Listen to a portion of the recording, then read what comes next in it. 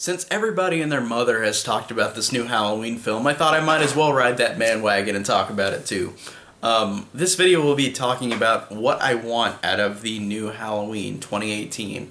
Um, because this movie I feel like has a lot riding on its shoulders. I mean, of course it's going to make money, and of course people love are excited for it, but this is an interesting one because this is the second time that this franchise has ignored a lot of movies in the franchise canon, but the way like how four, five, and six were ignored in H two O and Resurrection, but in this case, it's ignoring every single movie after the first one. So that is interesting, and I'm not even as mad as I was with H two O, where H two O ignored four, five, and six, because this one, it's like.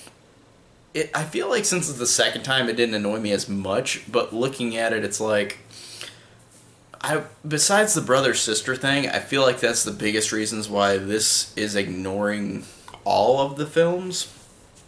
And I'm really curious on what they're going to do with that because I'm not a I'm not like the gigantic fan of the brother sister thing, but I don't I'm not opposed to it or hate it. Um, in a way it makes perfect sense, but in a way it's cool too seeing him just going out and getting this random victim, like going out to get these girls. And I think that it worked really well in the first one, or incredibly well in the first one. And just in this in this one, I'm really curious because it's gonna be since they're not brother and sister, it's gonna be she's just been living in fear for 40 years, um, and she's gonna fight back. Doesn't that sound like another movie, like Halloween H2O, exactly like that, except for it's 40 years later instead of 20?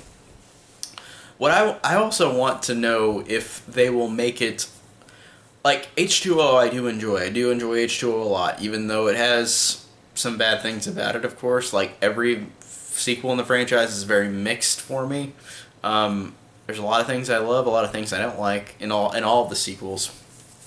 The original is almost perfect, I think, but all the sequels they're like there's always something wrong with them, but there's always great things still about them, but they're never as great as the first one and I don't think this one will be as great as the first one, but I feel like it will be great though. Hopefully, um, but I'm wondering if they're gonna do the same thing as H2O. It's just because literally, it's Laurie Strode is older.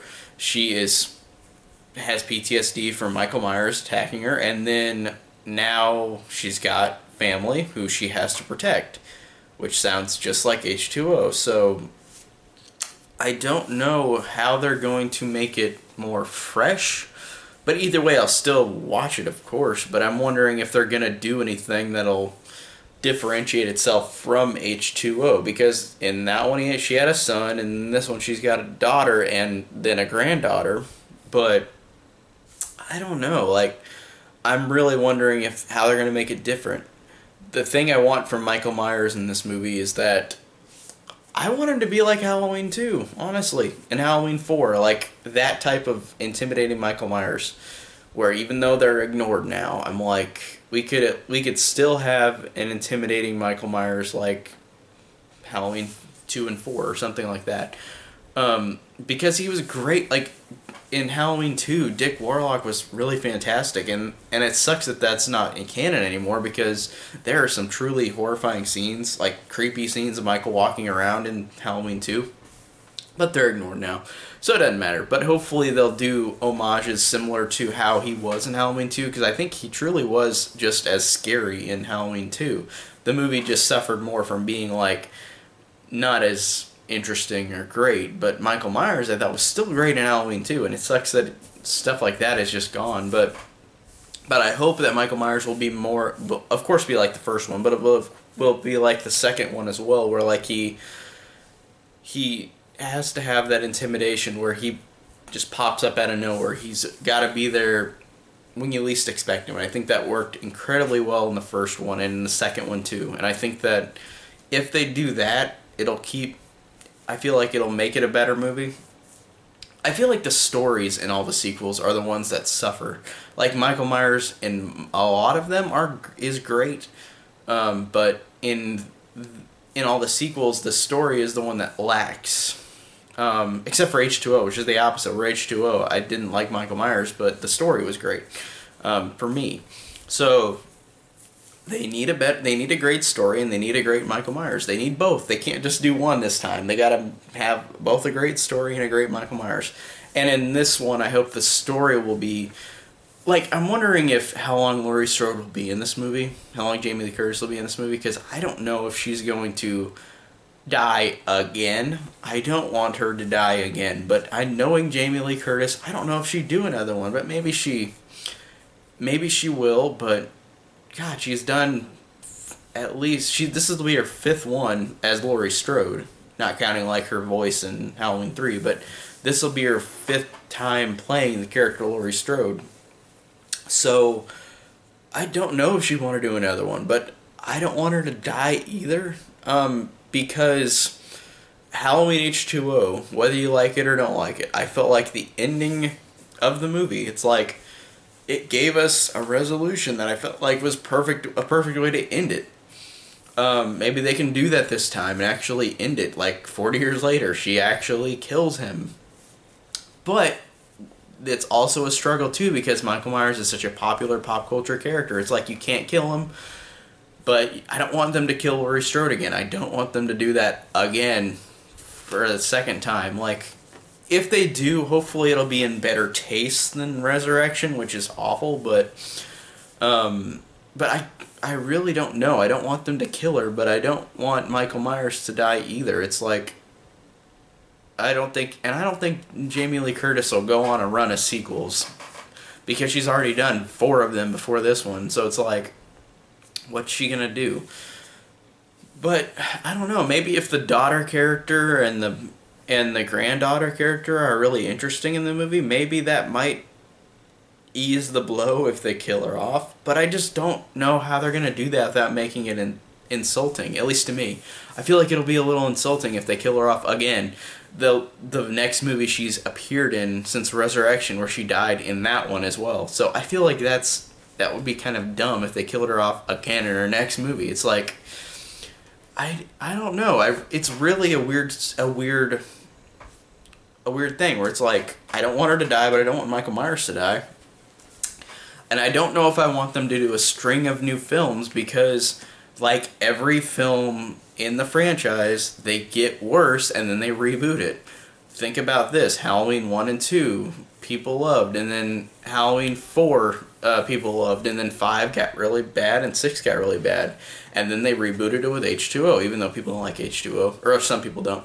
And then H2O had Resurrection, which was quote unquote bad. Again, like they keep bringing out these movies that people enjoy, and then they make sequels to them, Halloween 5 and 6 or Halloween Resurrection that people just hate after they make a quote unquote better one.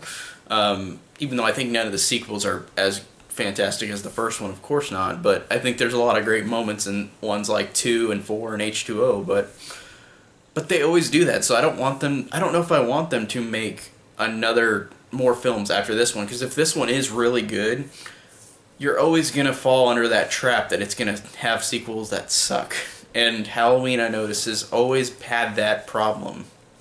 So that's it's really a question mark on what I don't know what their full plan is because that would be cool to see this as a franchise again, but I don't know if I want it though because again, we're going to get and I don't dis I don't dislike 5 or 6. I I hate Resurrection, but I don't want them to make another one that might be like Resurrection where it might insultingly kill off an either Laurie Strode or another character like that appeared in this movie. Um, and apparently they were trying to do a sequel to this if it was successful and if people enjoyed it, but but I don't know. I guess my thoughts would be that I kind of want this to be a one-off and be done if they do it right. Um, but the way that they're interpreting this, the way that Danny McBride and David Gordon Green are interpreting this is like it they're it seems like they're more competent in a way than most of the people who did the sequels, um, besides Halloween 2 um, or Halloween 4. Like George P. Wilbur and uh, and Rick Rosenthal both did, I think, did fine with what they got for Halloween 2 and 4, but um, but every other sequel is either was either a mess or it was made in the studio had so much interference where they fucked it up and like made it worse, like Halloween Six or Halloween H two O, um, or Halloween Resurrection, just existing on the fact that they made H two O and wanted it in there, but then of course they had to have a sequel because it made money. So I feel like David Gordon Green and Danny McBride are more smarter than a lot of these people involved with these sequels. So I feel like they might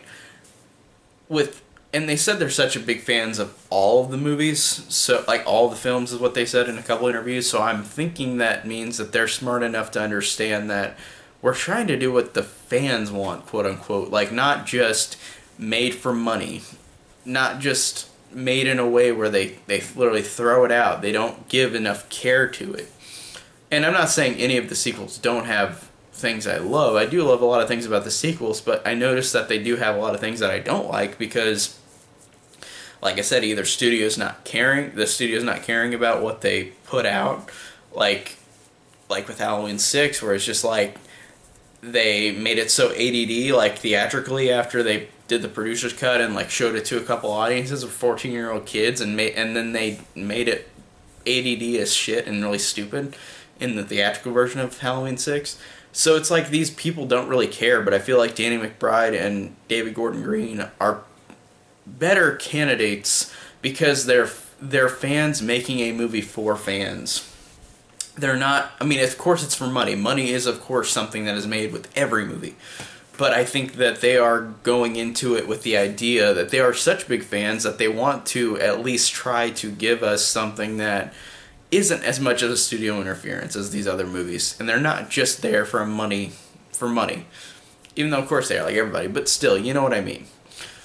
So that's really what I want. I really want a film that gives us something that us Halloween fans really want and not something that the studio can interfere with. I don't know about if they should kill off Laurie Strode or keep her because I don't want to kill her off again, but I also don't want Michael Myers killed off again completely. But it would be cool to see him die and have it full circle complete. But but I don't know. It's it's just I can't believe we got a month until it comes out. I'm excited, but like, um, it just it really annoys me that like we got all these sequels, but I hope that this time will hopefully make it better. There's oh, it's never too late. Just make a better movie, make a more make a more fun Halloween movie, a better sequel than the other ones. And if this is ignoring all of them, hopefully this means that they're they're really trying to make it better uh, hopefully it's not like a Texas Chainsaw 3D where that ignores all the sequels except for the first one, and then it's worse than all the sequels. So I'm just really curious on what what we will do, what we will see with the new Halloween. Um, we've got so much; they've got so much riding on their shoulders. Um, but either way, I am super excited. Even if it isn't great, I'll still see it, of course. I'll see it twice. I don't care. Um, I don't think it will be as bad as Resurrection, even if it was, and I doubt it will be. I don't think they will be.